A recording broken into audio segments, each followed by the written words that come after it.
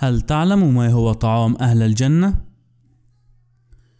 تشكل الجنة وما فيها من النعيم محورا هاما في حياة المسلم فهو في سعيه وما يبذله من العمل والجهد في الحياة الدنيا.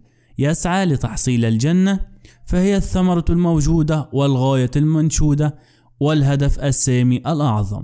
وقد سعى سلفنا الصالح لنيل الجنة فقدموا المنهج والأرواح رخيصة في سبيل ذلك.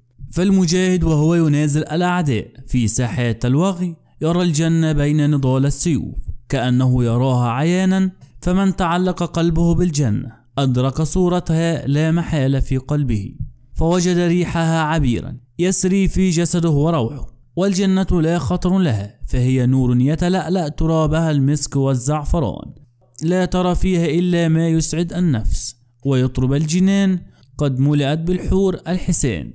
لكل منهن قصر ومكان يغنين فيه بأحلى الألحان وترى الخضرة وكل أنواع الثمار ما لم يخطر على الجنان فيها ما تشتهي الأنفس وتلذ الأعين ويطمئن القلب وترتاح الأركان وعندما يدخل المؤمنون الجنة تستقبلهم الملائكة ويقولون سلام عليكم فيدخلوها وهم أعرف إلى أماكنهم فيها أكثر من معرفتهم بمنازلهم في الدنيا فيحضر لهم الطعام ويكون أول طعام يتناولونه في الجنة كما صح عن النبي عليه الصلاة والسلام هو زيادة كبد الحوت وهو القطعة الزائدة المتعلقة بكبد الحوت وهي ألذ ما في الحوت في الطعم والرائحة وقد قيل إنها أبرد قطعة في الكبد تعطي السكينة والراحة لآكلها بعد حرارة الموقف والعرض على الله سبحانه وتعالى.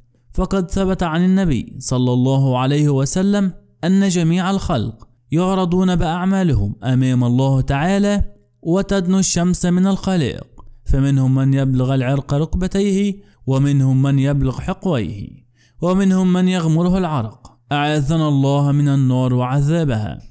ثم يؤتي المؤمن كتابه بيمينه ويؤتي الكافر كتابه بشماله.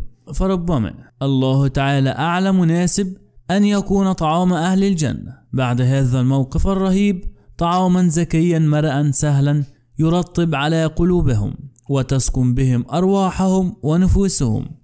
فلنجتهد بالعمل الصالح. نسعى لمرضاة الله سبحانه ليورثنا برحمته الجنة أنه ولي ذلك والقادر عليه.